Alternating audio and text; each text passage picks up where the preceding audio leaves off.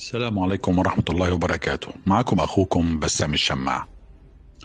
الرازي هذا الطبيب الفيلسوف الشهير اللي توفي سنة 925 ميلاديا ولد في مدينة الرأي شمال إيران بالقرب من طهران كده وللجنوب منها. هو أول من ابتكر خيوط الجراحة وابتكرها من أمعاء القطة. هو كمان أول من صنع المراهم من الزئبق. وأول واحد فرق في الطب بين النزيف الوريدي والنزيف الشرياني. وهو أول من أدخل الملينات في علم الصيدلة. وهو كمان أول من اعتبر إن الحمى عرض وليس مرض. وكمان وصف البول للاستفادة منه بمعلومات تفيده في العلاج. ونصح بتجنب الأدوية الكيميائية لو هناك علاج بالغذاء الأكل يعني أو الأعشاب.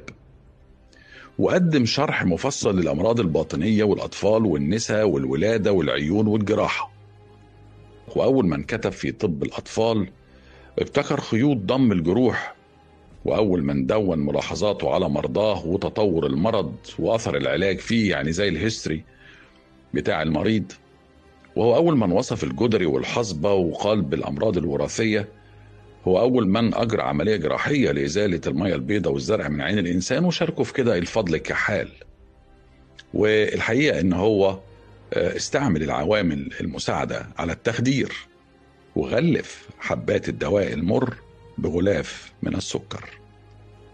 كتابه الشهير الحاوي في الطب قعد 15 سنة يكتب فيه وطبع في البندقية 1509 وخدوا بالكم إن هو توفي 925 ميلاديا.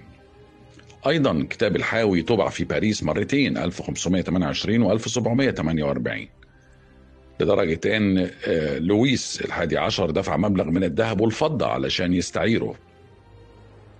للحاوي الطبيب الفيلسوف أكثر من كتاب. من ضمن العناوين بتاعته من لا يحضره طبيب. سر الأسرار. برق الساعة دي كلها كتب هو كتبها. طب الفقراء طب النفوس طب الملكي.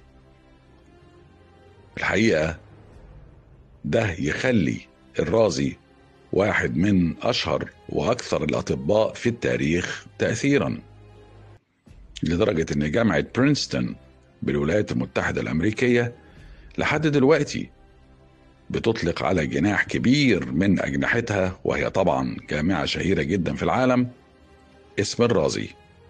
وكلية الطب في جامعة باريس عاملة له نصب تذكاري وصورته في شارع سان جيرمان بباريس. الرازي الطبيب الفيلسوف. أحداث وشخصيات في تاريخ الإسلام. قراءة بسام الشماع إخراج سارة الحريرية. رمضان كريم.